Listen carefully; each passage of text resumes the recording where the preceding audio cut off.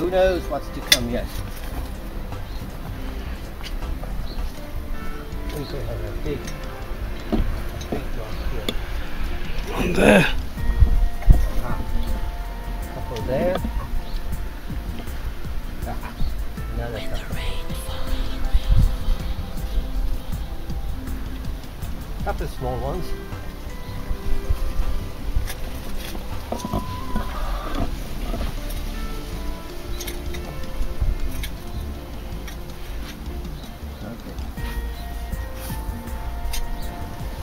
These are quite good ones.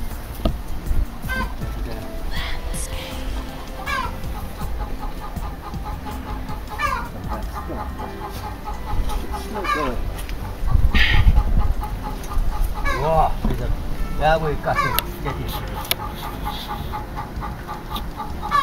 Some small ones.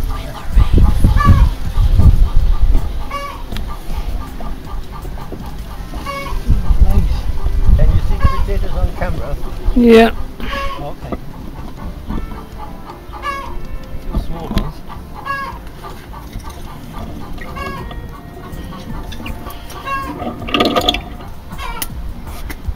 Well, nothing to write home about, but they're there, and the ones so far this time, so far I've. I've been taking them up the last three days, but they haven't been as good as these ones. These ones a bit better.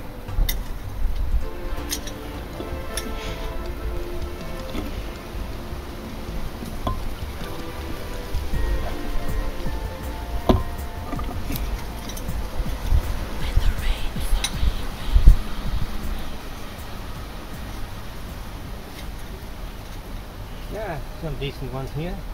From each one I get one, two, three, four, five, maybe six like this.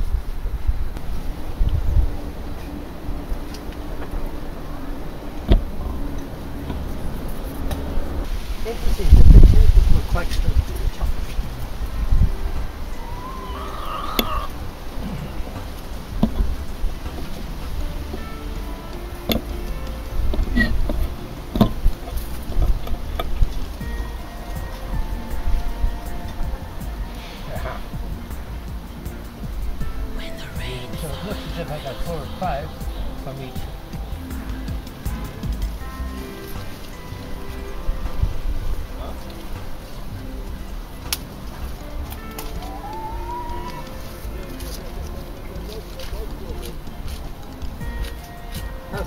see what's down here.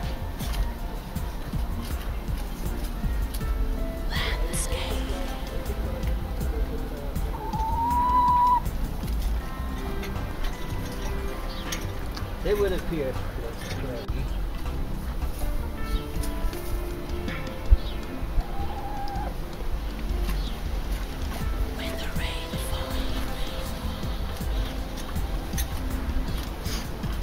Are Desiree potatoes. They're pink, and they are resistant to the keel worm. The keel worm seems to have affected a lot of people's potatoes here, apart from this one. Uh, apart from this pink vizier.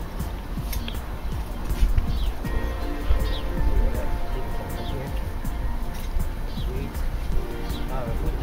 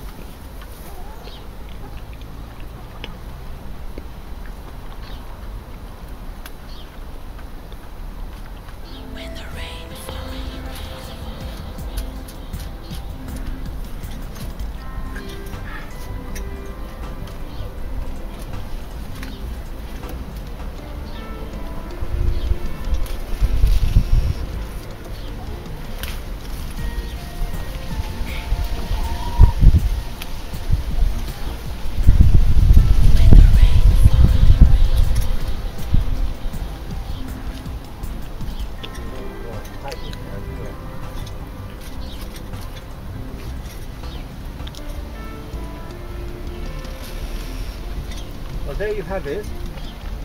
Uh,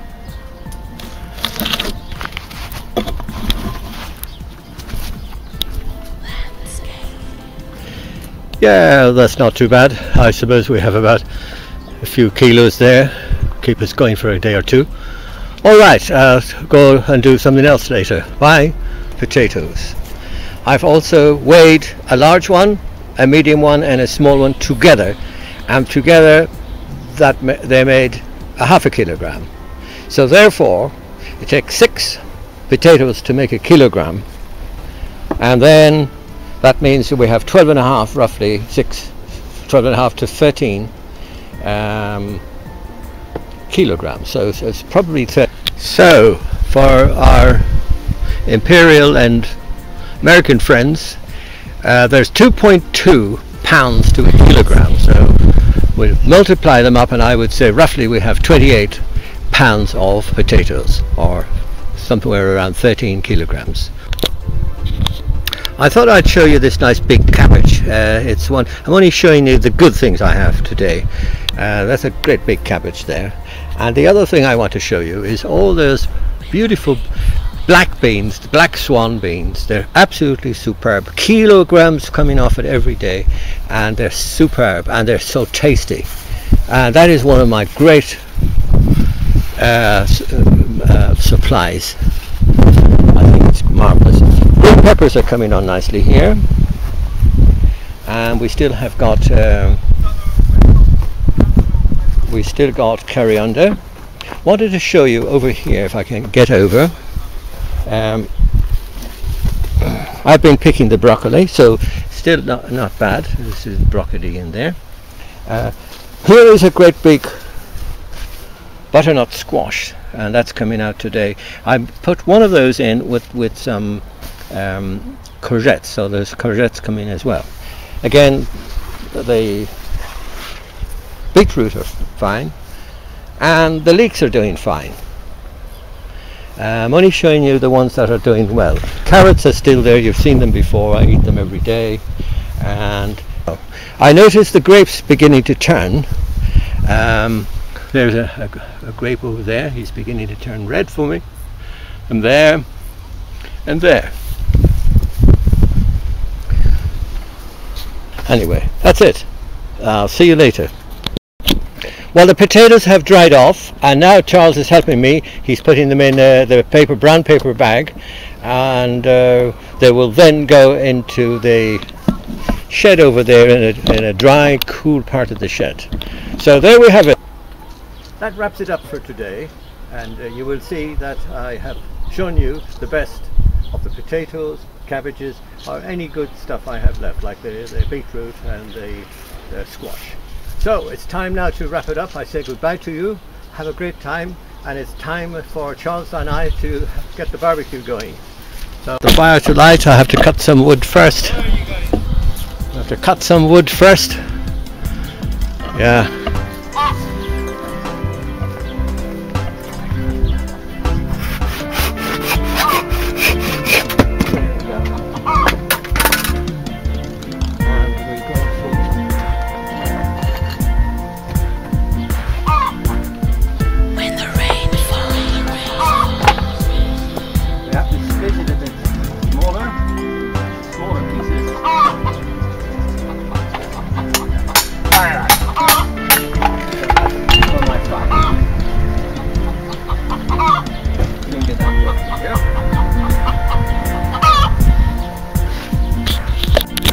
I'll see if I can get one of the cucumbers for salad.